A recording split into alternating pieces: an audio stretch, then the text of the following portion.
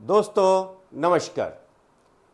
पिछली बार, पिछले हमारे जो एपिसोड में हमने बात की थी ईपीडीएस के एक घोटाले की।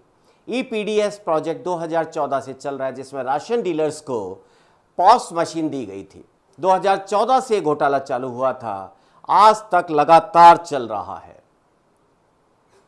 इसमें एक कंपनी की बात हमने अपने पिछले एपिसोड में की थी, जिसमें कि हमने लिंकवेल कंपनी के घोटालों की बात की थी। लिंकवेल कंपनी के जो डॉक्यूमेंट्स हमें उदयपुर से मिले सेम हमारा दूसरी चीज़ों में भी था। अब हम बात करते हैं एक दूसरी कंपनी जो एनालॉजिक्स है। एनालॉजिक्स के बारे में। यह दूसरी कंपनी जिसने इसी तरीके के घोटाले किए। इसने टोंक में घोटाले किए, जो दस्तावेज़ हमें मिले, वो टोंक से जारी किए गए थे। लेकिन टोंक वालों ने कहा, भैया, हम ऐसा कोई दस्तावेज़ जारी नहीं करते।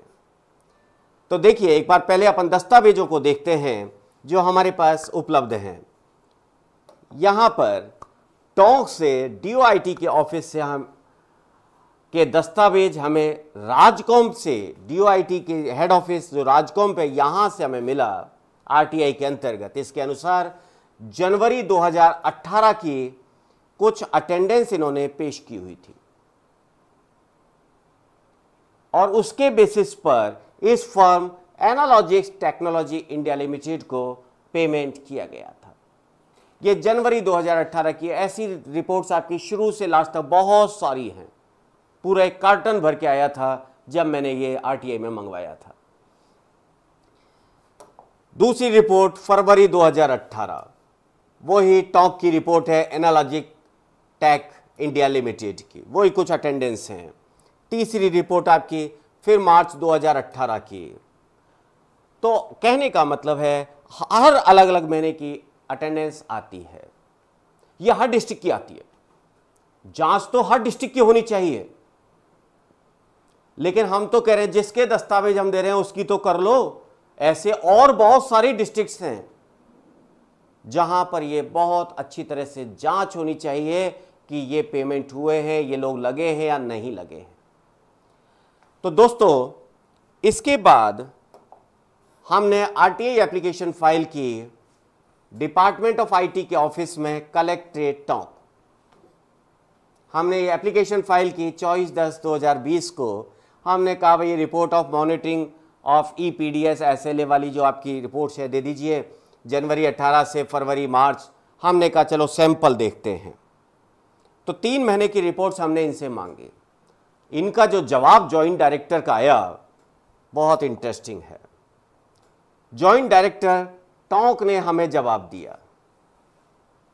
इन्होंने हमें जवाब दिया, उपरोक्त विषयांतर्गत लेख है कि आप द्वारा report for monitoring of EPDS SLA issues for जनवरी 2018 फरवरी 2018 मार्च 2018 विषय में संबंधित दस्तावेज़ राज्य स्तर से सूचना प्रौद्योगिकी एवं संचार विभाग जयपुर द्वारा पारित जारी किए जाते हैं।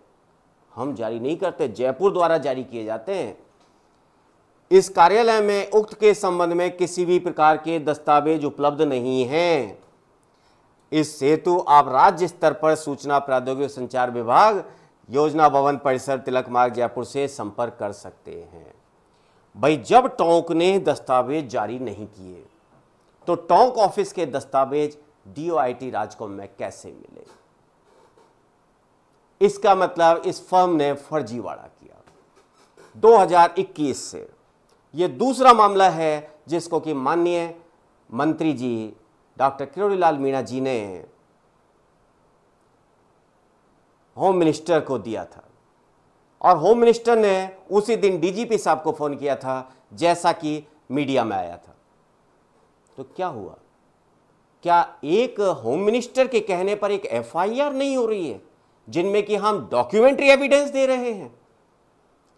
और मैं नहीं कह रहा हूँ, पहले मंत्री जी ने इसको समझा, डॉक्टर साहब ने इसे समझा, डॉक्टर साहब ने होम मिनिस्टर को दिया, होम मिनिस्टर ने समझा, डीजीपी को बोला, एक मंत्री के कहने पर एफआईआर नहीं हो रही। और वो भी उन दस्तावेजों की जो कि आपके सामने आरटीआई में मिले हुए हवा में बातें नहीं हो रही है। सारे डॉक्यूमेंट्री एविडेंसेस के साथ।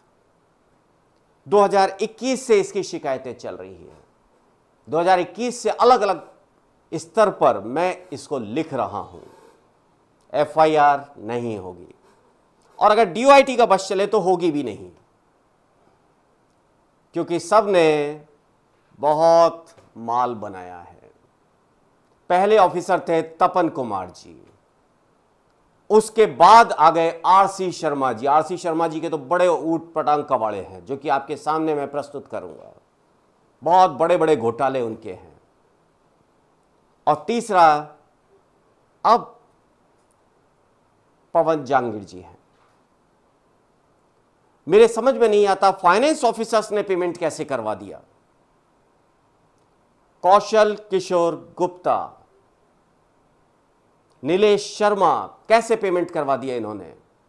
और अगर पेमेंट हो गया तो क्या इनकी कोई ज़िम्मेदारी नहीं बनती कि इनको वेरीफाई किया जाए? चलिए, नहीं किया। ये तो प्रोसीजरल लैप्सेज हो गए। मैं तो डॉक्यूमेंट आपको लाके दे रहा हूँ। अब तो एक्शन ले लीजिए श्रीमान। नहीं लेंगे। भजन लाल जी अपनी भजन मंडली में मस्त हैं।